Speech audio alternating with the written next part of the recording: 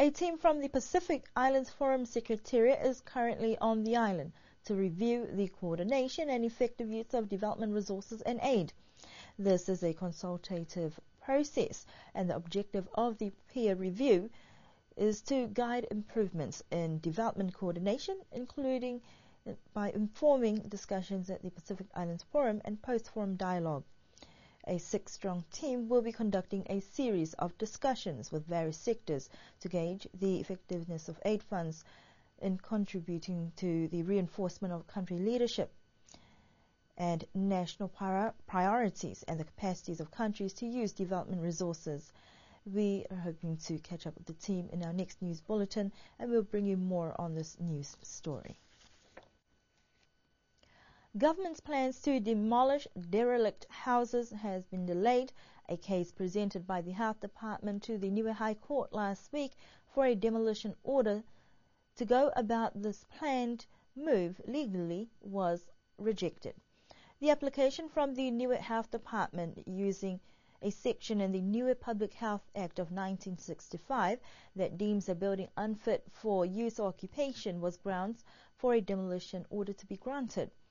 Following building inspections last year, 65 houses were identified and listed to be demolished.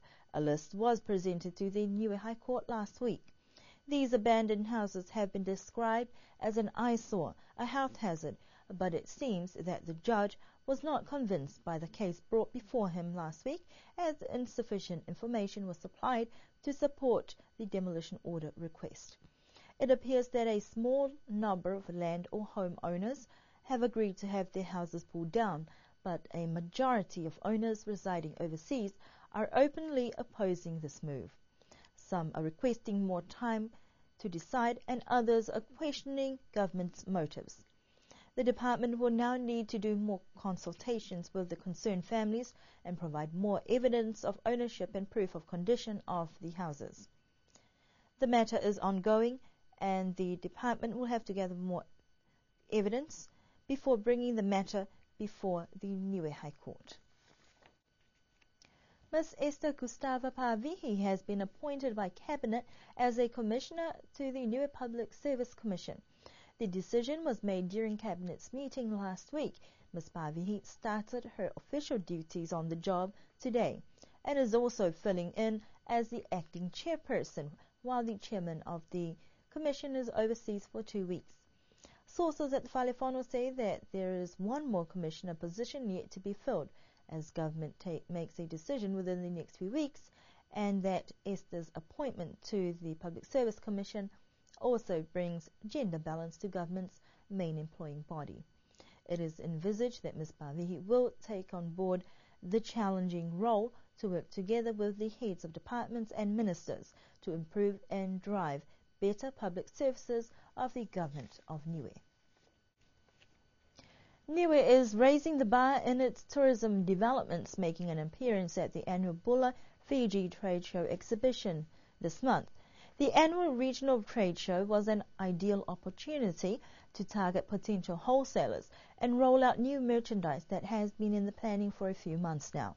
This time round, the presence of personnel from the Niue Tourism Office has added a more personal approach in pitching Niue as a soft adventure and ecotourism paradise and the place to be, with good feedback so far and positive investments in the industry. Feedback uh, from the buyers was um, uh, that Niue appears to have changed. Um, we went from the last few years sort of having a couple of posters on the wall to this year having a, a really professionally um, kitted out booth. We had DVDs playing. Um, uh, we looked we looked the part, so you get taken seriously when um, we looked at. And you know, safe to say, I felt, um, and I'm sure Vanessa will agree that um, in terms of uh, how we were represented, that we probably outshone a number of our other Pacific Island neighbours, uh, which um, put us in good light with the with with the buyers. So um, you know, the proof's always in the in the pudding, and, and now we've got the next few weeks of uh, follow up and um, making sure that uh, all of the things we agreed to in those meetings um, with uh, all of our buyers um, we actually achieve. Um, so that also that also mean a lot of work, a bit of work for uh, a lot of the local operators um, in terms of making sure that they come through with with follow up as well, which we'll will help them with, uh, obviously. But I think one of the biggest things was increasing our online presence and the online um, travel agents, and it has taken a while to get Niue taken seriously um, in that space. Um, so a lot of them just didn't want to know about um, prior. Um, we came away from the show um, really positive, um, and had uh, virtually all of the major online providers commit that they will list Niue, and then the next step is they list the operators.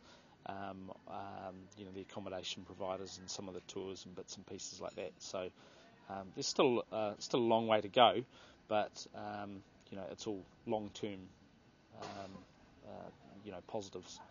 In terms of uh, attending this trade show, uh, how much have we actually invested in attending these types of trade shows, and are we getting our money's worth?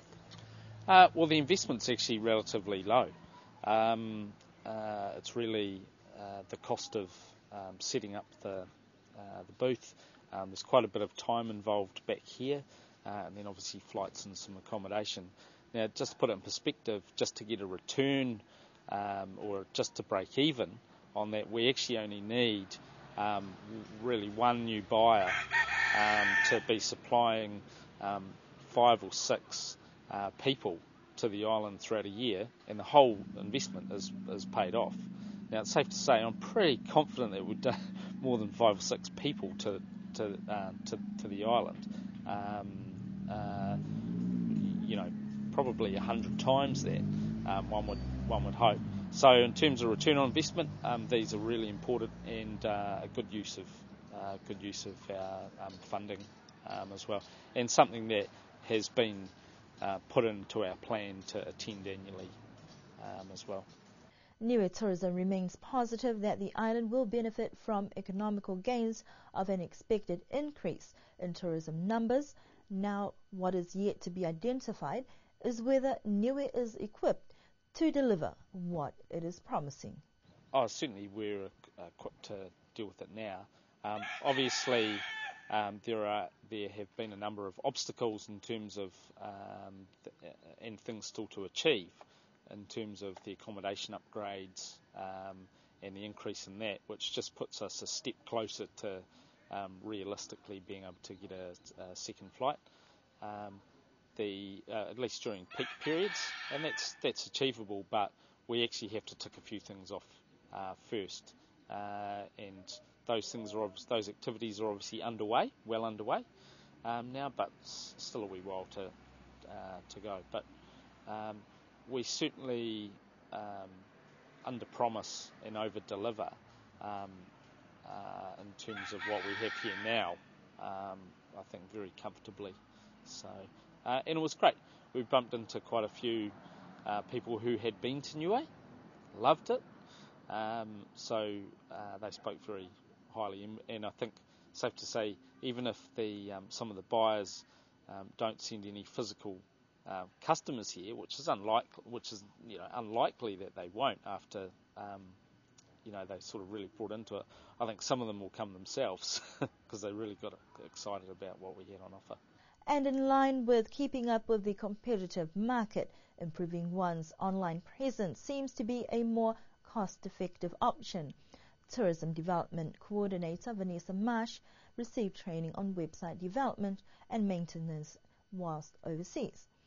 Tourism is confident that the new look and marketing strategies will benefit Niue in the long run as tourists bring more economical benefits to the island. An unexpected power cut to Alofi Central has left businesses at the commercial centre frustrated. The faults occurred just after 11 this morning and appears to have been confined to the commercial centre area reaching to the marketplace. Some businesses were forced to close up shop, meaning a loss of a day's income, which owners say is not good for business. Fortunately for Telecom and the Bank of South Pacific, their operations were not affected as they have backup generators, while other smaller businesses were not so fortunate. The smaller outlets in the commercial centre area had to take extra precautions to ensure frozen goods were well packed, hoping that power would be restored sooner rather than later. Niue Power says that the problem may have occurred due to an overload on the line and is a low voltage fault unrelated to a planned switch off that was done earlier in the morning that affected the Alofi South area.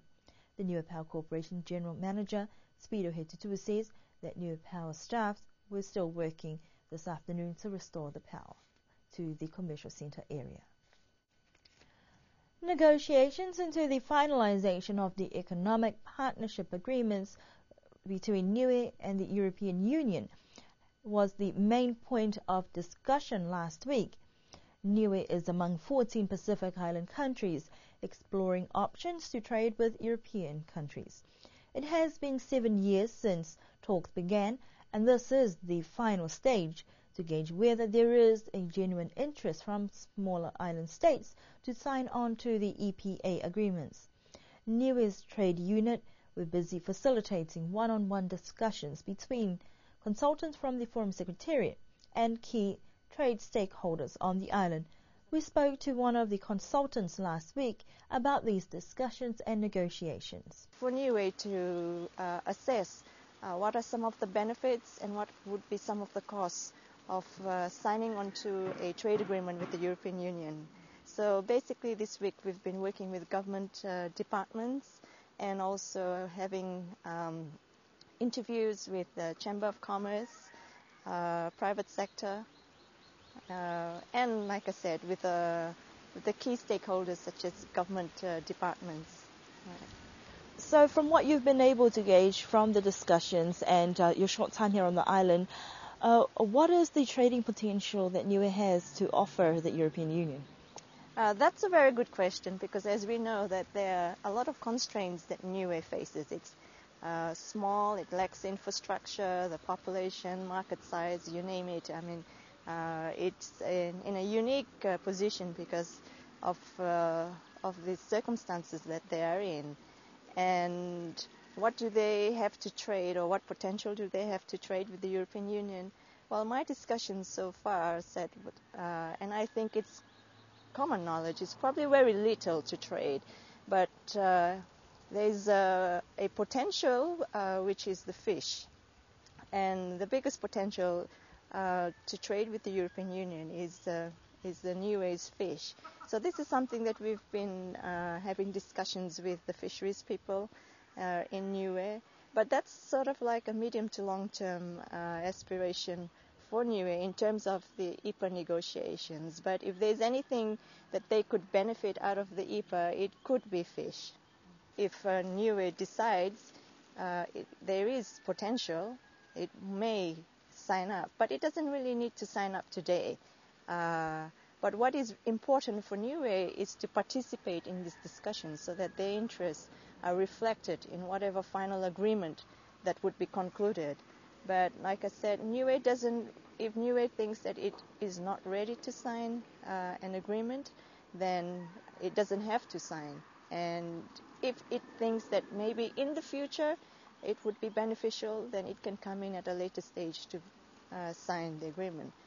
The benefits of such an agreement would mean an open door into the vast European markets for goods from the Pacific and also potential assistance from the European Union to implement or develop strategies to enable free trade.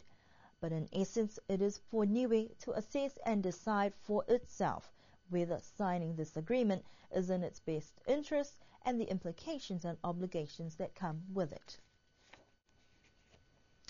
And finally, today, Niue joined in celebrations marking World No Tobacco Day that is commemorated on the 31st of May each year. This year's theme focuses on the World Health Organization Framework Convention on Tobacco Control. That lays out guidelines and foundations for countries to implement and manage tobacco control. The Niue Health Department has put forward their support for tobacco control that is also identified as a contributing factor into many non-communicable diseases. One of the biggest issues for health is um, the control of non-communicable disease, which is an international problem looming. And the things that cause non-communicable diseases are, is obviously alcohol use, tobacco use, and unhealthy lifestyle and eating. So the tobacco, um, preventing tobacco use is one of the pinnacles and a huge contribution in preventing non-communicable diseases here, which is heart disease, lung disease, etc., and all those other conditions that arise from tobacco use. Today we're really focusing on what we do in health and the way in which we promote and um, prevent smoking and how we get the mes- message across. So for the purpose of what we're doing today, we're going to learn from each other. So each department or subdivisions has done um, a stall on how they think uh, they should promote and get the message out there to the public. And each department is going to be judged on their contribution. So we're learning from other people's ideas within the health department and what can be most effective for the public view. So we do. That's how we, the health department's celebrating it today, and then later we're going to go out with some of the winning ideas to the public and present present those uh, to the community. One of the current ongoing initiatives within the department that specifically targets tobacco control is a smoking cessation program that began in 2007, which has had positive results. In the last few years, we've invested quite heavily in smoking cessation um, equipment, so nicotine patches and gum.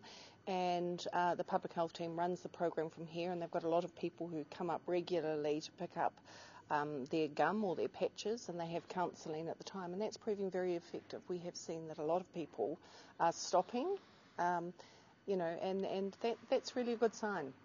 The Public Health Division continues to encourage smokers to give up the habit and will also be developing specially targeted programs before going out into the community.